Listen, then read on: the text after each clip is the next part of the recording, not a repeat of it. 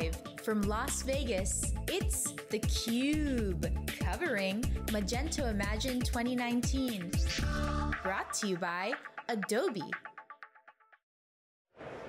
Hi, welcome back to theCUBE. Lisa Martin with Jeff Frick at Imagine 2019, the Wynn Las Vegas with about 3,500 customers, lots of partners, lots of developers, a lot of energy here. And speaking of energy, we have Jason Woosley, VP of Commerce at Adobe. Jason, you came onto the stage this morning from the clouds, suspended. Talk about energy. It was a lot of energy and there was a message behind it, right?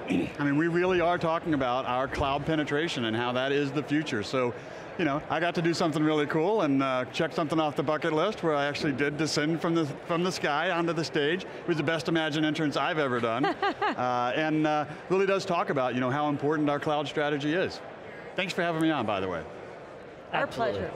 So a lot of energy here, again, community, community, community. We go to so many shows, so many people are desperate to engage developers. And you guys have that in your core, it's been there from day one continues to be such an important part of who you are as well as the road forward. It's the reason for why we are where we are today. I mean, bar none, right? Our community, this ecosystem, and it's not something you can buy, it's not something you can, you can even intentionally build. You have to nurture, you have to create a, platform that, that speaks to a large, large audience, and then you just got to make sure that you're treating those developers and the partners really, really well, empowering them to really differentiate that experience at the last mile, and you know, it is, it's a flywheel effect. You end up with this incredible community that's anxious to contribute back into our code base, and they have made, what you see at this conference is a result of that community. It's not anything that Magento could do, it's not anything that Adobe could do. Uh, it is just something that has to organically happen, and then you have to nurture the heck out of it. And that's, that's really what we've done.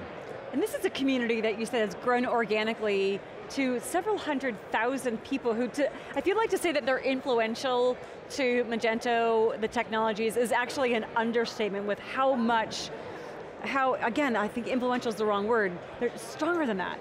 They're absolutely core to it, right? I mean, they, they're an extension of our, our development methodology. You know, I like to think about, you know, I run engineering as, as part of my organization, and everybody in my group is customer facing just like everybody in our community is customer facing. And so we've tried to tear down the walls that separate our community members from our internal core engineers because it creates this incredible diversity of perspective that you can't find anywhere else. I mean, no, no matter how much I invest in, in you know, broadly diverse engineering teams across the globe, 300,000 engineers that call themselves Magento developers, don't pay, take a paycheck from Adobe, but contribute back to our code base, influence our roadmap, and really show us the way. It's, it's an incredible phenomenon. And I was going to say, in the last year since the announcement of the Adobe acquisition and the actual completion of that six, seven months ago, how has that community reacted? Strengthened? What have been some of your surprising observations about the communities. It is surprising, state. and I'll tell you why. I think we came into the acquisition with a lot of apprehension, right? There was a concern that, you know, Adobe's too big, they're too corporate, they don't really love open source. All untrue, right? Adobe has incredible open source initiatives already inside, but you don't hear a lot about it. And so our community, I think, was it's a little bit concerned about, you know, does the level of investment go down? Does the, um, you know, all of our, our ability to promote that product, does that, does that we start to back off of that. And of course, we have not done that at all, and in fact, what we've seen is that our community loves the Adobe acquisition. They see the opportunity just as clearly as we do. We have more than triple digit growth in the number of, of community contributions coming into us since the acquisition last year. It is a clear sign that the, the ecosystem is fully on board with where we're right. going. Well, clearly the Adobe suite provides so much you know, gunpowder to, to power the commerce that's been at the core of Magento from the beginning. I mean, it's, it almost begs the question, how, why didn't this happen a long, long time ago? I, I, you know, I think that's, I think there's, there's something to be said about that, and, uh, but you know what, it took Adobe a while, they picked the right platform, we're very confident of that, um, and you know, their investment in community is actually paying off on the Adobe side, right? When you think about digital experience products, they are now more active than ever in open source projects. We've got you know, folks from uh, Adobe Experience Manager that are writing code and contributing to Magento, which is, it's, it's absolutely terrific. And they're now talking about how do we get the ability to kind of create that contribution mechanism uh, and at least create a platform concept where you know, everybody plays, it's an equal playing field, you can service small, you can service large, uh, and, and it just brings everybody together to solve these common, complex problems right. that our joint merchants face. I, I don't know how many times you've been on stage in the last two days, but a, a couple.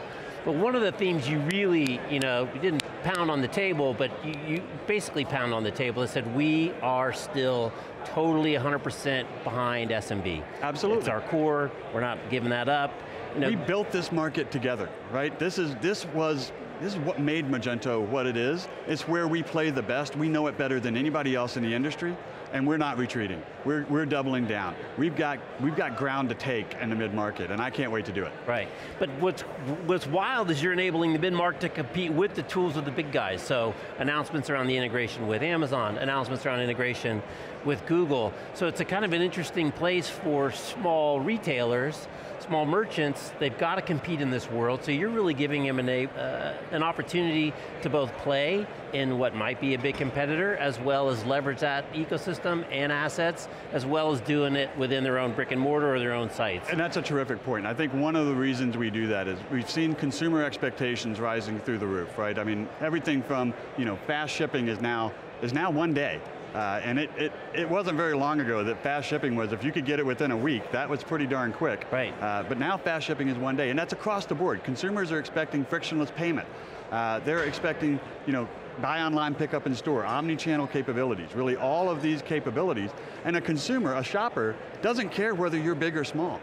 What they care about is the experience that they consume when they interact with your brand. And so bringing the tools of the enterprise to the mid-market allows them to, to compete on a more level playing field, and that's really where you generate all this great innovation, and that's where you see uh, you know, these smaller merchants that are really able to you know, drive into something that you know, may not have been a, a, a, core target for some of the larger enterprises, but they find a niche and they're able to deliver, but they have the same personalization needs, they have the same logistics needs, all of that is, is not changed just because they're a smaller organization. And so it's really on us to be able to provide them the tooling and the access to the capabilities that let them compete with the larger merchants. Yeah, because you're right, as consumers, which we are every day, we don't care if they're a big or small company, or what technologies they, well, no, we do care uh, to a degree that we can start something from a mobile phone, have a great seamless experience, yep. that's not going to cause me to churn, because I'm not going to be able to find what I want. I want it to be personalized. I want them to know enough about me in a creepy, non, in a non-creepy way, as you say. That's right. No, if, it, if, it's, if, it's, good, it's magic. if it's bad, it's creepy. Right. Regardless of recommendation engines. And yeah, expect no, that they have what I want, but also what you're doing now is giving these SMBs, these smaller organizations, the ability to harness this sort of symbiotic data power between Adobe and Magento for advertising, analytics, marketing, commerce, to be able to have that wealth of knowledge to make that experience exactly what that consumer expects. Exactly right. I mean, it's about bringing the behavioral data and the transactional data together to really get a 360 degree view of individual customers. And guess what? There's too much raw data there for Excel to ever be able to tell you anything. You've got to rely on things like artificial intelligence and machine learning, so things like Adobe Sensei, to really derive insights out of that mass set of data. But that's the way you create those personalized experiences. You have to employ those, those techniques to get there. Right, I just wanted to unpack the Sensei uh, announcement a little bit, because I think that's really interesting. You know, AI has been a great buzzword, we see it a lot of places, you know, our, our Google, Google email now automatically figures out what we want to reply to our email.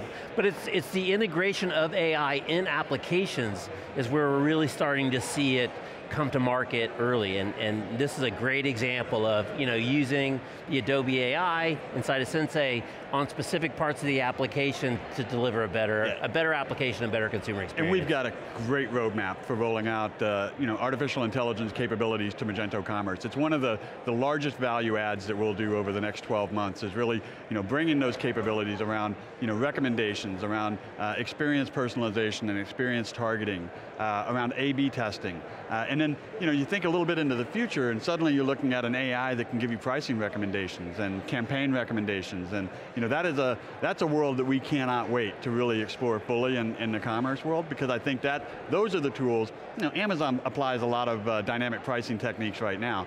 it's a really expensive process. I don't know a lot of small merchants that have access to the tools to do that. We're bringing those tools to small merchants, and that's going to change, change the game fundamentally, I believe. In a way that they can do it almost themselves, rather than having to have a team of resources, which a small business doesn't have. And, and that is the name of the game for small business. You can't, you can't require them to have a data science team, you can't require them to have a, an IT staff or a, a web development team. You've got to give them everything they need so that they can focus on retail, what they know best, merchandising to their customers, uh, and you know, managing their inventory, driving the, the correct margins, and then making sure that they're able to grow the lifetime value of their customers, right? That's the, the holy grail for retail, is when you can actually optimize against lifetime value.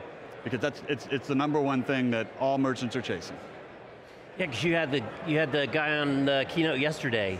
Um, the, I'm not in the demographic. I'm trying to remember the name of the. Oh, uh, the, Troy, Troy Brown from Zumiez. From Zumiez, yeah. yeah. It is. I thought it was just really interesting. You know, just kind of rethinking retail. Right, retail is not dead, uh, but it's different. And, and you have to be different, and, and really to see how they have kind of taken their concept I thought was pretty interesting, especially around the fact that he has no more fulfillment centers, he said. Yeah. That basically they're fulfilling from the store. They want to engage you in the store. It's a convenient thing, especially now we see Amazon packages are all getting stolen off of, of doorsteps. But you know, enabling them to be creative around their customer engagement, not necessarily worry about how, the, how to run a bunch of A-B tests. They let, they let you do that complicated let stuff. us take on all of the complexity, and then they can actually benefit from the insights derived from that. And what, right. what Zumiez have done is, it's, it's a phenomenal story, right? I mean, you know, going away from this centralized warehouse concept to really turning all of their stores into distribution centers, right? Uh, 704 uh, or so uh, brick and mortar strong, where you know they now have merchandise close to their consumers. Uh, they have you know the ability to do showcasing, buy online, pick up in store, all of the omni-channel techniques that are grabbing so much traction right now. And Zumiez has really capitalized. Uh, right. Uh, they've done a terrific job, and it's great seeing it come from these really innovative retailers, right? I mean, that that show last night with with Zumiez was absolutely you know fantastic. Their culture is super unique, highly energetic, uh, but they're driving technology forward in a way that you might not expect from you know, a, a, skateboard apparel shop, right. right? Well, they're making Champion cool again. He came out on the Champion, and it was in the demo. I'm like, I didn't know Champion was a cool brand Apparently again. it is cool it's now. cool now. You and I are both out of that demographic, but uh, it, it is. It is a very good story. One of the things I'm, that we're hearing and seeing is that you know, we talked about personalization and this expectation that as consumers we bring to everything we buy, whatever it happens to be, but also this sort of, looking at Amazon as an example of going, going to brick and mortar from purely online, the acquisition of Whole Foods, people still wanting to have that human interaction. We talk about it all the time when we talk about AI, is that yeah. pretty much the common thread is, yes AI, and maybe yes online to a degree, and then there's still that need and that demand for that personal face-to-face -face, or maybe voice-to voice-to-voice interaction. Yeah, well, you know, it's, it's really, for me, it's about taking that brand you know, experience and making sure that it's resonating across all of your digital properties as well as all of the physical properties, right? It is about, you know, really leveraging, my brand experience is consistent across every place that I, I, I encounter my customers and I'm ready to transact anytime my customers are ready to transact. And when, you know, talking about Amazon, we've, we've announced some really cool stuff this, uh, at Imagine on Amazon, a partnership where Amazon sellers can now have a branded storefront on Magento. This is allowing you know, folks that have done a terrific job selling in, in the marketplace where you don't, you don't have a lot of opportunity for experience differentiation on the Amazon.com site, right. right? And that's, you know, it's a terrific marketplace. More than 50% of product searches are starting on Amazon now. So it's a reality that retailers need to, uh, you know, find a way to come to grips with. Right. And what I'm really excited about is that those merchants that are doing really well on Amazon now have a new channel where they can create these branded experiences and really start differentiating themselves from their competitors. It's going to be a terrific story. It's, uh, you know, branded storefronts uh, for Amazon sellers is the name of the, uh, name of the offering, uh, and it's going to change the game for folks that have been exclusively Amazon, maybe thinking it's too hard to go you know, get a, uh, a, an online presence that actually represents my brand. Now it's a piece of cake, they've got a, a, clean path to get there, and the capabilities go both ways, right? We also announced Amazon Sales Channel from Magento Commerce that allows you, you know, as a branded merchant, to go and participate on the Amazon Marketplace and have full control over your inventory, uh, your orders, and all of your catalog. So funny, you know, we talk about experience, but, but so much of, of, of retail execution is actually inventory execution, right? right? It's inventory management. That's where all your money sits. You can get it real upside down really quickly if you're not managing your inventory. Um, and if you don't have the right amount of inventory, especially as you say with same day delivery now being an expected uh, expected behavior. And so, so to have the sophisticated tools on the back end to manage that inventory across that broad kind of distribution plane, if you will, all these different points of engagement is so critical to these guys to have any type of chance of success. Yeah, it, it is, it's absolutely critical. And, and you know, we've also got a Magento order management product that specializes in sort of global inventory control. Uh, we've made terrific investments there to bring new capabilities to make sure that those omni-channel aspirations are not something that you know, a merchant has to go invest a whole lot of, of money in changing their systems. I think you know, it, it, is, it is interesting to think about when you talk about you know, how B2C is really bleeding into B2B, right? That supply chain management, you know, 70% of our B2C merchants, self-described, actually engage in B2B workflows, and almost all of our B2B only merchants are really looking at how do I go B2B to C? Right. So there's this, this really great, great platform play happening, and the fact that, that Magento Commerce and Adobe Commerce Cloud can service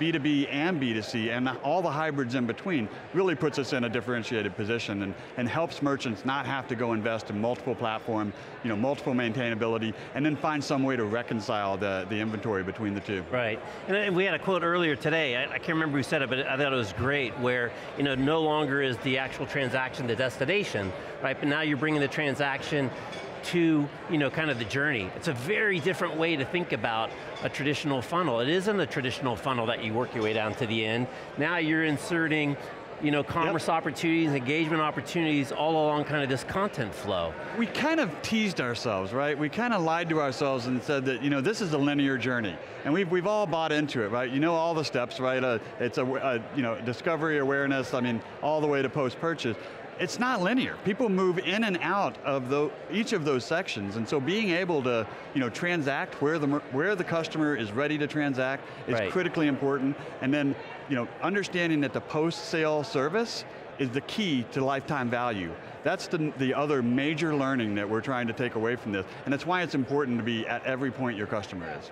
Yeah, it's interesting, because especially with these things, because you don't sit down you don't sit down to work on your phone like we sat down to work at these things. That's right. And so your attention- Work's coming to you. It's coming to you and it's coming in little bits and oh, by the way, there's a whole bunch of notifications coming on that could pull you away. Yeah. So it's a very different challenge in terms of in actual engagement when this is the primary vehicle. And, it, and increasingly it is the primary vehicle, Absolutely. right? More than 50% of traffic to uh, retail e-commerce sites is generated from a mobile phone. Um, and, and, you know, and there are emerging uh, markets where that is the only internet connected device. And so it, is, it's the standard. You absolutely have to take mobile very seriously. There's a great set of technologies coming online to help us get there. It's called Progressive Web Application. It's going to change the game on how mobile is treated as a device. And in fact, it gets rid of the need for discrete um, native applications. So instead of having an iOS app, an Android app, a you know, desktop storefront, a mobile storefront, and maybe a tablet storefront, plus your online, uh, on, uh, brick and mortar. Now you can actually say, my digital properties are serviced by one set of technologies. And that way when I make a change to one, it shows up in, in everything. I don't have all these different code bases to maintain. It's a total cost of ownership uh, and really a, a, time to market play I was going to say, faster time to market for sure. Absolutely. With far yeah. less resources. Well, and bringing it so that it's, that you really have to invest in allowing your merchandisers to merchandise on your digital properties, right? If there is a, an engineer sitting between your merchandiser and the customer, that, that, that time lag and you know, even just, just trying to get it done, there's so much frustration there. So creating these self-service tools that really allow you know, non-technical merchandisers to go in, make adjustments to how they're selling products across all those channels very, very easily and in one place, that's going to return a ton of value uh, to our merchants. So it's another thing that we're super excited about. Yeah, you deliver that consistent experience that the consumer is expecting, and then, and we were talking to PayPal earlier, start to help companies uh, close that revenue gap of getting them from mobile to uh, per, you know, wanting to transact and making that whole process seamless. There's a $9 billion, $9 billion opportunity in closing the mobile gap. When you think about abandoned carts and folks that you know, begin the checkout process, for whatever reason, likely they get frustrated and don't want to type in their credit card number or don't want to type in their address, and then they move to a, you know, a, another device or another store that's doing ch uh, checkout in a more frictionless way, the $9 billion opportunity if you close that. Wow, So huge. it's incredibly important. It is incredibly important. Well, Jason, we wish we had more time, but we thank you so much for stopping by theCUBE and talking with Jeff and me. So, such an exciting time. Sounds like developers are feeling embraced, the community is happy, customers are reacting well, so we can't wait to hear what's next next year. This is the best place to be in the world in commerce. Thank you guys so much for having me on. It's always a pleasure, and I've enjoyed it a lot. Oh, lot. our pleasure as well, All right. Jason. Thank you guys. Thanks, Jason. For Jeff Frick, I'm Lisa Martin at Imagine 2019 at the Wynn Las Vegas. Thanks for watching.